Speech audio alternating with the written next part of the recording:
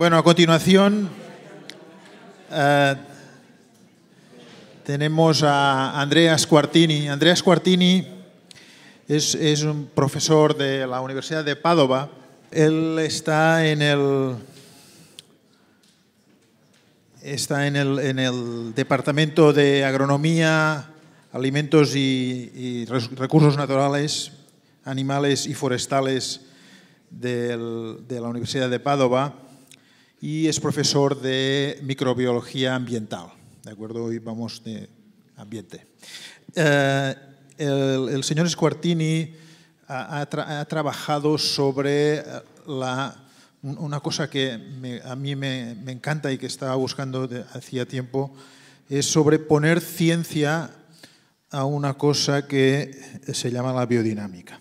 ¿De acuerdo? Entonces nos va a dar una charla de sus los trabajos que ha hecho sobre la caracterización del, del, del preparado Zinc 500, ¿de acuerdo?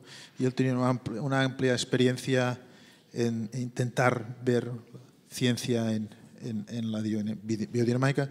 Y bueno, the floor is yours. Muchas gracias uh, por la invitación y Estoy aquí para hablarle en uh, un idioma que no es el mío, pero esto capita, eh, de una cosa que mmm, también no es la mía, porque yo no soy un biodinámico, soy una persona que hace ciencia, método, y uh, esta slide puede acordar a cualquier una película que estaba a 300, um, pero aquí vamos a hablar del preparado 500 con rigor científico. Esto es uh, difícil para uh, algunos de nosotros uh, a veces. Y aquí um, mi misión es de hablar sobre partes sin defender la biodinámica. Um, de lo contrario, podría atacarla un poco porque el rigor científico es tratar una materia con el método de la ciencia. La ciencia es imparcial. Se podría decir, esta es Sparta, por quien se acuerda de la película, la ciencia es Sparta un poco, porque uh, no trata con favor las materias, la trata con objetividad. Entonces vamos a ver el objeto de nuestros estudios. El um, cornoletame, lo llamamos en Italia, se llama el preparado 500, el estiércol en el cuerno, es una cosa que en biodinámica uh, se hace mm, poniendo estiércol de vaca en los cuernos de vaca y um, entierrándolos para cinco o seis meses, desenterrándolos y el contenido amaturado no es eh, parecido al estiércol, um, es un poco como un compost, no tiene un malo olor y se uh, en una cantidad de agua y se rocía sobre los campos. La cantidad de uh, preparado es 200 gramos para 70 litros de agua para una hectárea. Entonces es una pequeña cantidad uh, a nivel estructural, no puede ser como una fertilización orgánica estructural, es algo que uh, si funciona, funciona en pequeñas dosis.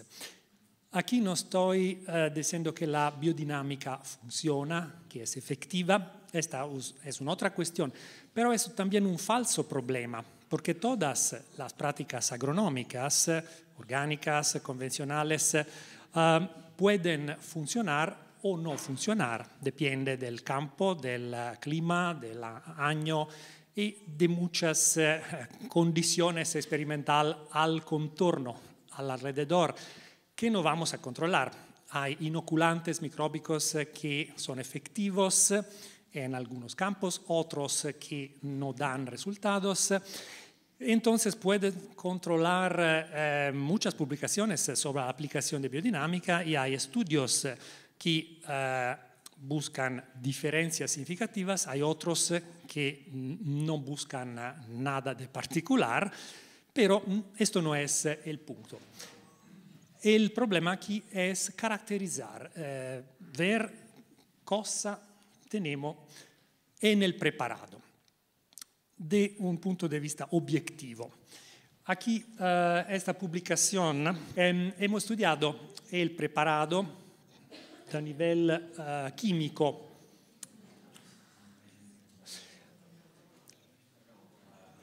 Hemos ido a saber la composición en compuestos químicos. Sí, si puedes ponerla en modalidad presentación. ¿Y cómo se hace una... Sí, sí, sí. No la... ok. Um, una análisis química se hace con técnicas como la gas cromatografía y la espectrometría de masa para ver el contenido de uh, compuestos químicos. Y en uh, un material como ello, uh, hemos uh, trovado del componentes como ácidos grasos. Yo no toco nada, puede ponerla. Ok, pero en la modalidad presentación, puedes, ¿puedo hacerlo yo? ¿No? eh, aquí vemos un pirogram, un análisis de gas cromatografía con los diferentes componentes que um, se separan eh, dependiente de la composición química en materias más grasas o aromáticas y entonces eh, conseguimos una caracterización de lo que es químicamente esto preparado. El resultado eh, ha sido comparado con el de un compost, porque la cosa que más parece a un preparado como esto es el madurar del estiércol en los uh, cúmulos de compost, que son, si yo puedo hacer algo así, dime. E, la diferencia entre el preparado 500 y el compost fundamentalmente estaba en la proporción de compuestos químicos hidrofóbicos y de los derivados de la lignina y otras uh, moléculas que se encuentran entre los dos, pero el um, preparado 500 tiene más compuestos que tienen la uh, propiedad de ser signals, uh, moléculas que pueden informar las poblaciones micróbicas de algo que los microbos pueden hacer. So, hay muchos uh, peptides, moléculas pequeñas y cosas que um, funcionan en la célula micróbica como información para despertarse, para hacer algo. Entonces, la diferencia entre un uh, compost y una preparación 500 es fundamentalmente la composición. Siguiente. Una longa lista química que es uh, un poco aburrida, siguiente, pero las diferencias se ven uh, entre el siguiente, la proporción de compuestos que están uh, derivados de la lignina, que son más en, en, la preparación 500 y menos en el compost a diferentes días de maturación, y menos de omega hidroxyácidos y de otros compuestos como el ácido alcandioics y más alcanes. Siguiente. Esto eh, es una otra análisis de eh, tipo químico, es una uh, resonancia magnética nuclear en la cual se ven las presencias de particulares moléculas que son conocidas porque inducen acciones en los microorganismos, los signals que estaba nominando, porque um, tenden a conferir al producto una actividad de señalación y de expresión de genes en las bacterias. Siguiente. Y mm, en general tenemos un compost que um, es la misma cosa a la origen, pero a la fin es muy diferente, porque estando entre el cuerno, algo se pasa que uh, cataliza la formación de cosas diferentes que son más activas uh, para la biología. Siguiente. Una pregunta fundamental aquí, porque la biodinámica uh, sovente es acusada de ser algo pseudocientífico porque eh, utiliza pequeñas cantidades de esto preparado y se habla de homeopatía. Se dice es más pequeño, demasiado pequeño para uh, funcionar porque tenemos 200 gramos que son rociados en una hectárea, en 70 litros de agua, entonces parece demasiado pequeño. Vamos a ver si esto es verdad eh, haciendo calculaciones. Siguiente. Esta es eh, la uh, resuspensión, la dinamización, se llama roteando un palo y después se suministra como un spray, se rocía para hectaro. El siguiente. La calculación aquí es um, la cantidad de agua que tenemos efectivamente en un hectaro de suelo, porque el suelo eh, normalmente algo eh, en el cual peso es formado de una cantidad de agua que si todo es normal es un cuarto del peso.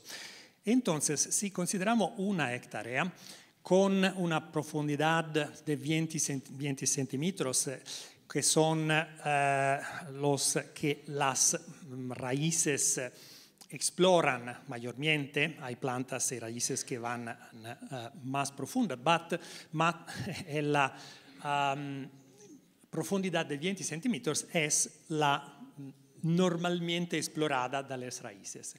Aquí hay un paralelepípedo que ha un peso de uh, 2.000 toneladas en el cual un cuarto es agua, un cuarto es eh, espacio, atmósfera, y eh, dos cuartos, la mitad, es suelo. Esto es una cantidad de eh, 500 mil kilogramos. La siguiente.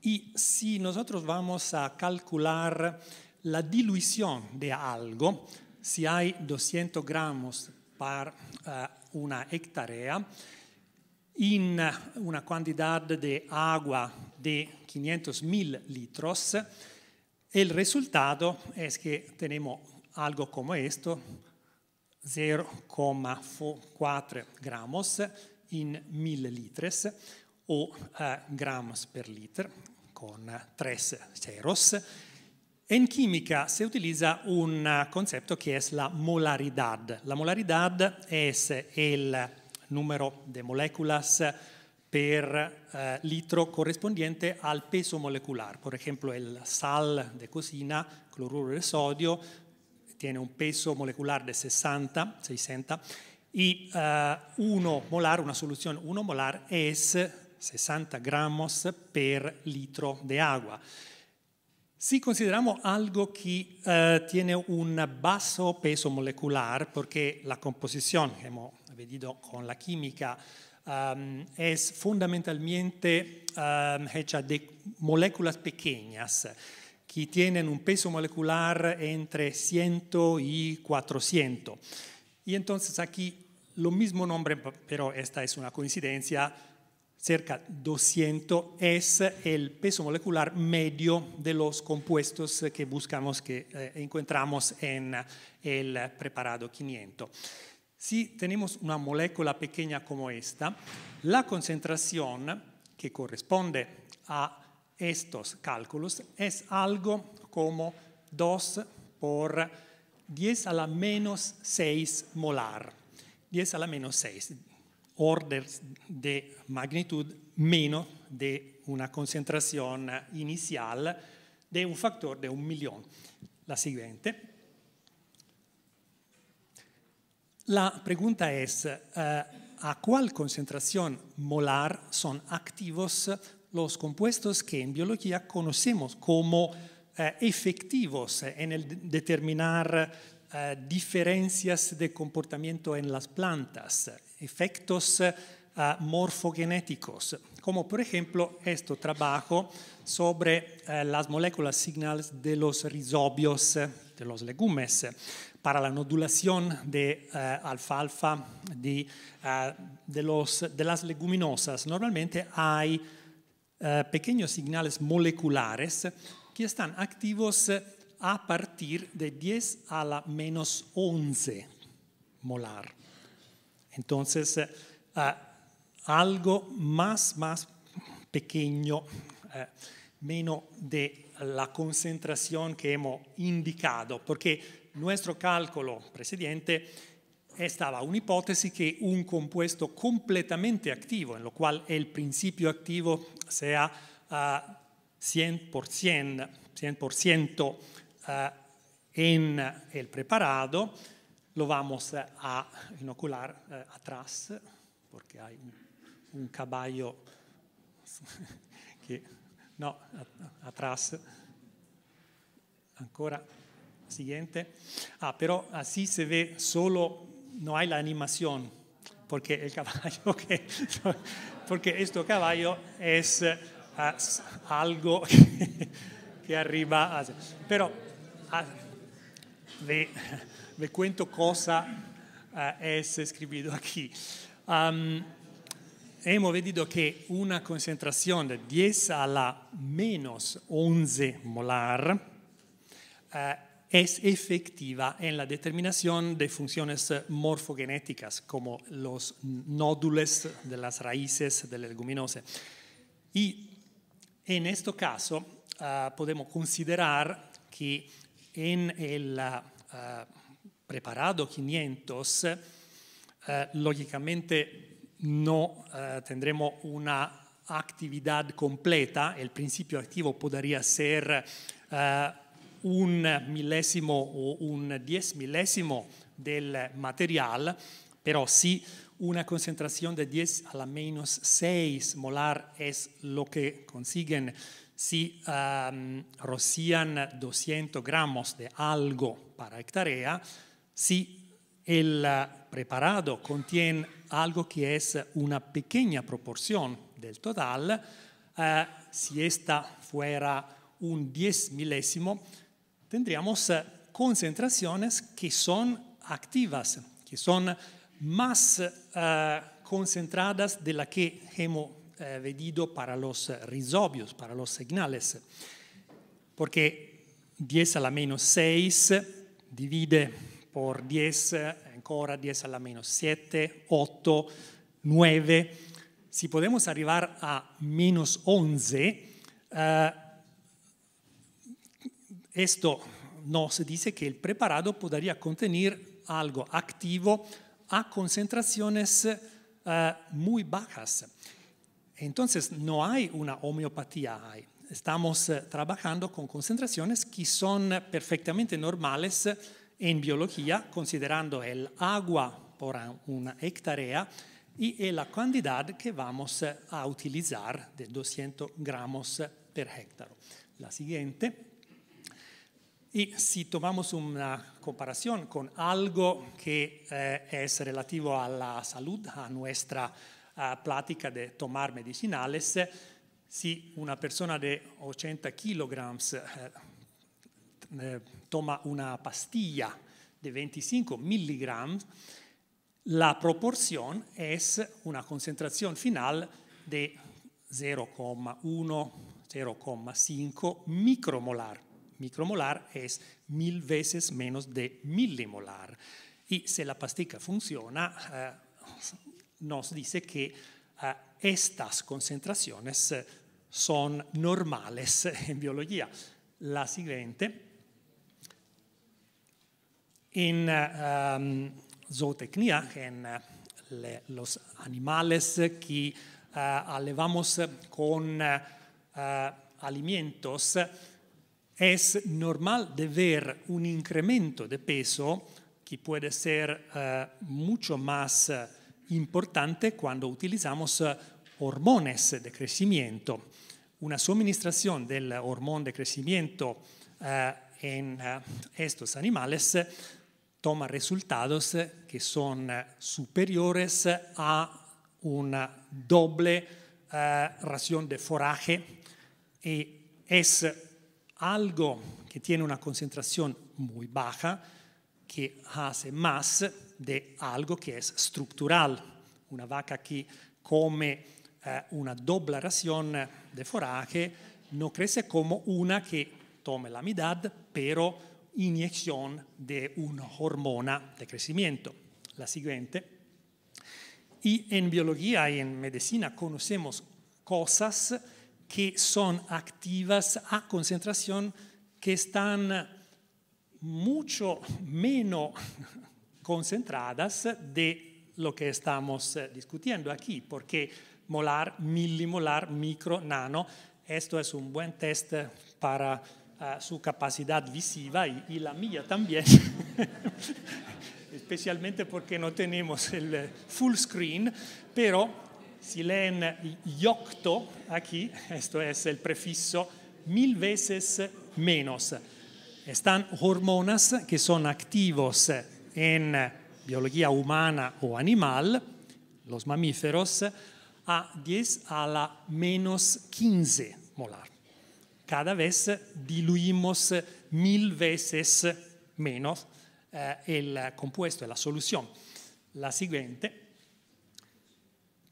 Y eh, nuestro otro trabajo ha sido eh, sobre la uh, microbiología, el contenido de bacterios y de hongos del preparado 500, la siguiente. Y aquí hemos aislado las eh, colonias eh, de bacterias cultivables, que no son la totalidad. En microbiología ambiental eh, hay una proporción de bacterias cultivables que puede ser menos de 1% del total de los bacterios vivos del uh, contenido. La siguiente.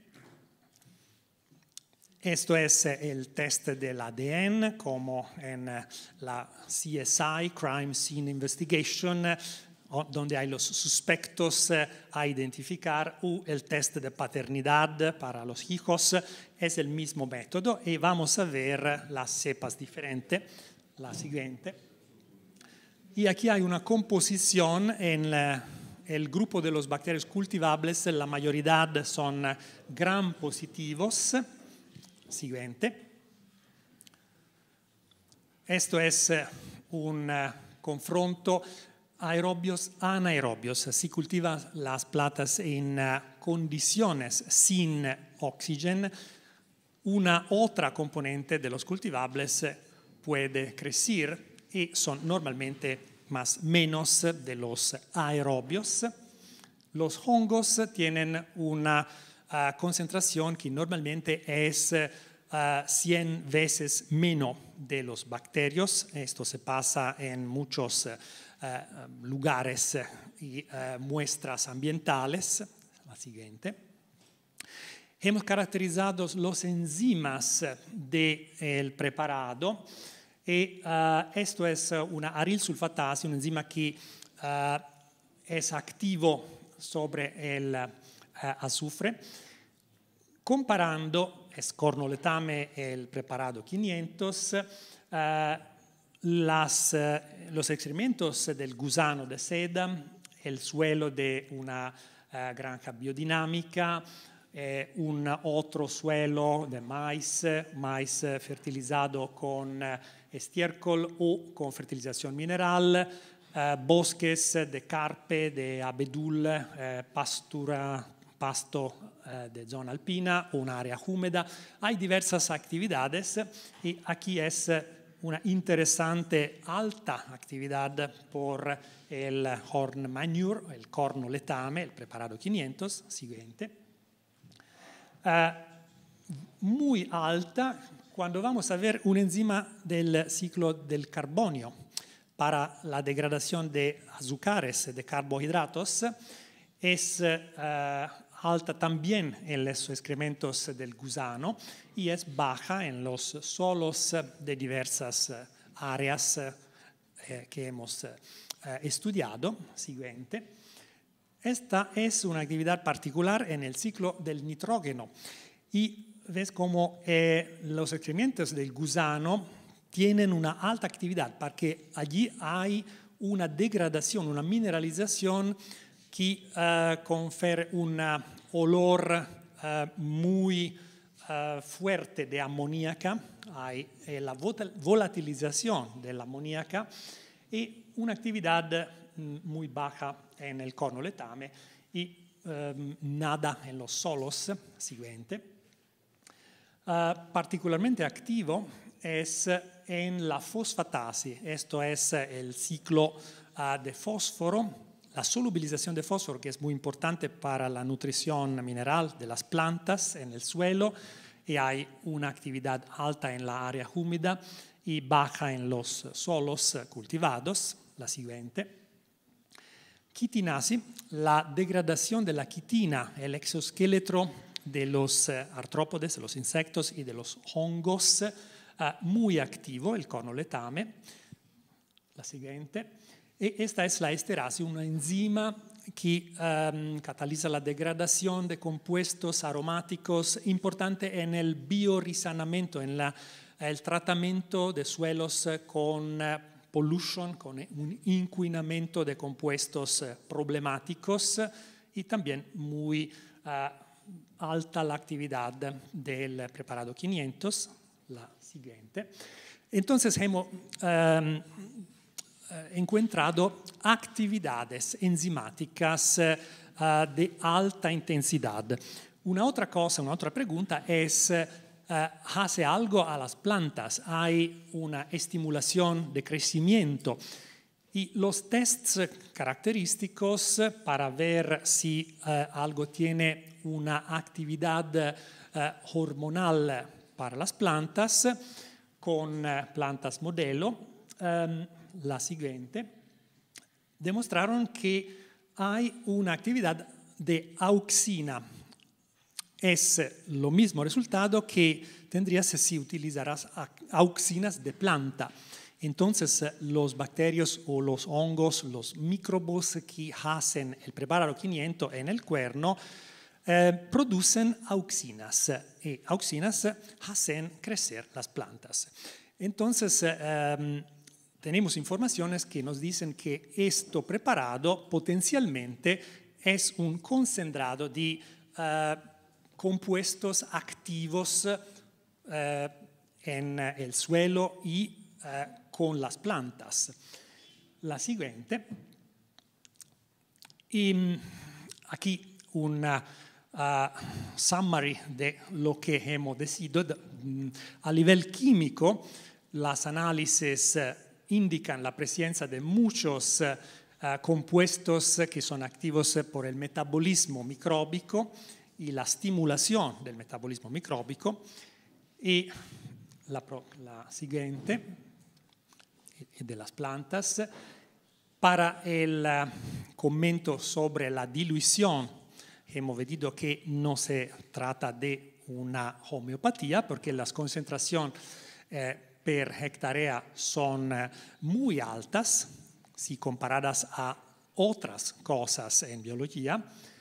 La siguiente. Y la última parte de esta historia es eh, nuestro eh, otro trabajo sobre el catabolismo de la queratina. ¿Por qué queratina? Porque los cuernos son hechos completamente de queratina. Vamos a ver cómo se ha estudiado esto. Uh, una cosa importante que se sabe en biodinámica es que el estiércol debe ser uh, recogido fresco inmediatamente en el mismo día que la vaca lo produce por, para el riempimiento, para rellenar los cuernos. La siguiente. Y la otra información que hay de la práctica de biodinámicos es que los cuernos pueden ser utilizados uh, diferentes veces para cuatro o cinco años. Después um, acaban delgados, sutil, no se pueden utilizar más. Esto es una, un otro uh, elemento interesante porque la sugerencia es que algo se pasa que es relativo a la uh, parte interna de los cornos que uh, probabilmente se uh, desgasta, se degrada y es hecha de proteínas. La queratina es una proteína. La siguiente. Nuestro experimento ha sido de considerar que hay muchos bacterios y hongos en el material. Un tercio del estiércol eh, de los animales es hecho de microbos, bacterios, hongos. Y cuando lo pones en el cuerno hay una uh, serie de especies, una comunidad micróbica particular que va a hacer un trabajo. La siguiente. Nuestro experimento ha sido uh, de estudiar el proceso con un uh, desotierramiento prematuro, porque normalmente se llenan los cuernos, se entierran y en cinco meses de uh, octubre al año siguiente se uh, desentierran para tomar el contenido. Nosotros hemos analizado lo que se pasa a momento inicial con el estiércol a 40 10 a 85 a 150 che è lo stadio final. e questo abbiamo analizzato eh, differentemente la capa exterior e eh, la capa interior del eh, material. E la cosa interessante è che eh, la capa exterior è normalmente eh, muy um, madura y la interior es menos. Si vas a analizar en estos disoterramientos el olor del material, el color, la parte interna, la capa uh, interior, es la última que madura. Esto es importante porque nos dice que la maduración es, como se dice, centrípeta verso el centro a partir de la parte exterior. Y entonces el cuerno hace algo que es importante para la maduración, para el acabar algo que no tiene más el olor del estiércol y parece un poco un compost. La siguiente. Y el análisis de, estos, de estas muestras que tomemos a diferentes tiempos se ha hecho con eh, la secuenciación del ADN siguiente, con un protocollo di eh, tipo molecular, se eh, aisla el ADN e il sequenziador eh, le el ADN il risultato sono muchas sequencias, la seguente. Estas sequencias sono relative a una parte del genoma, a un gene, che tiene informazione sobre la identità di una specie.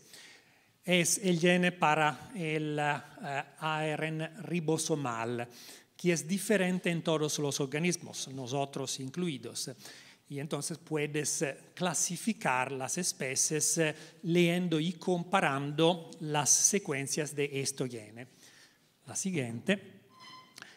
El resultado de estas análisis es una aburrida lista de 100 eh, páginas de este tipo, donde tiene la uh, concentrazione, la abundancia, il numero di sequenze di una uh, eh, especie.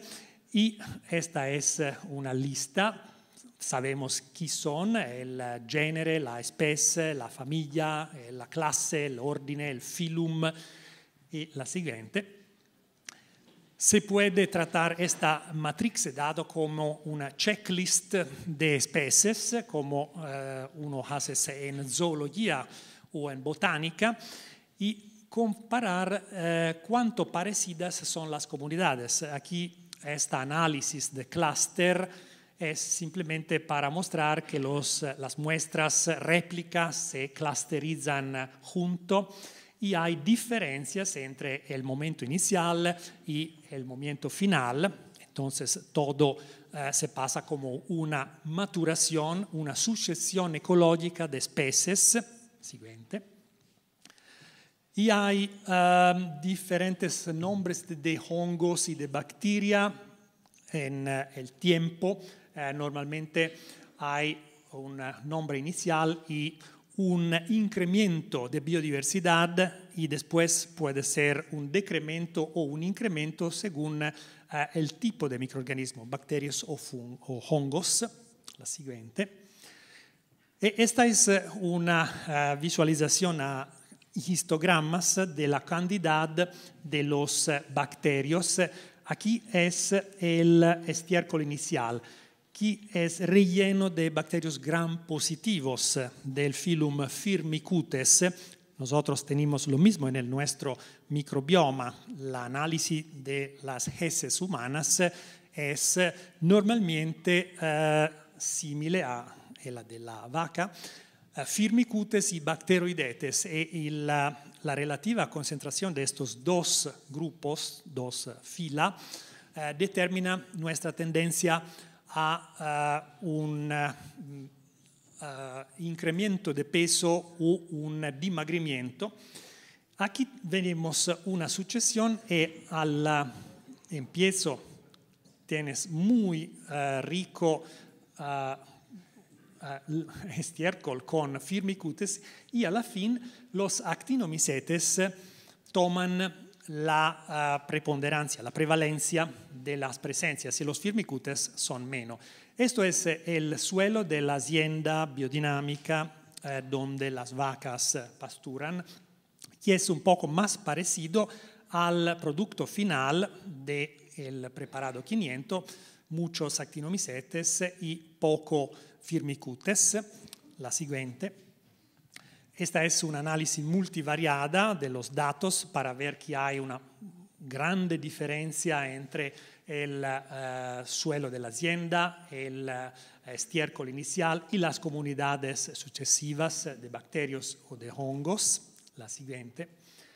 Uh, particulares hongos que se encuentran en el uh, horn manure, en el preparado 500, son estos blancos aquí al microscopio óptico y la secuencia de estos, uh, separando individualmente, uh, indica el género Scutellinia, la siguiente.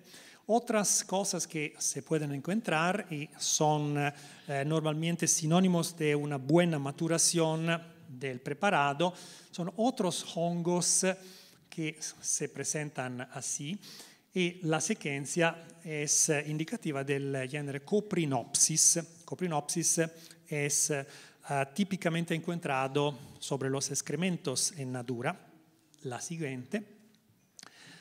E qui chi eh, una cosa importante, hongos, la maturazione del material, è il hongo più presente, il più abbondante cerca la mitad de los hongos aquí, es un hongo que se llama uh, Chrysosporium vallenarense, que es en el orden de los onigenales. Onigenales son los hongos que degradan queratina. Esto es sorprendente porque el cuerno es hecho integralmente 100% de queratina. Y los onigenales son típicos de substratos ricos de queratina que pueden ser no simplemente eh, los eh, cuernos, pero también otras partes de animales o humanas, el pelo, eh, las honjas, los, las pezuñas, pezuñas eh, uñas, pezuñas, garras, eh, plumas, partes de animales que son hechos de la misma cosa, de queratina. E esto es una interesante eh, conexión mm, de tipo catabólico entre el estiércol y el cuerno. La siguiente. Esta es la prevalencia del hongo en el estiércol inicial y después hay una sucesión eh, donde el hongo de las onigenales, queratinolítico, eh, deviene menos representado porque la queratina ha sido degradada. La eh, parte del cuerno, la cual es a contacto con el estiércol, es eh, degradada, desgastada da la acción del hongo queratinolítico. La siguiente. Estas son uh, diferentes cosas que todas son hechas de, hechas de queratina, como hemos decidido, los, uh, las pezuñas, los picos, uh, las plumas, la siguiente. Pero hay un otro lugar donde encontramos la queratina en una manera más sutil y delgada son nuestras mucosas epiteliales. La siguiente.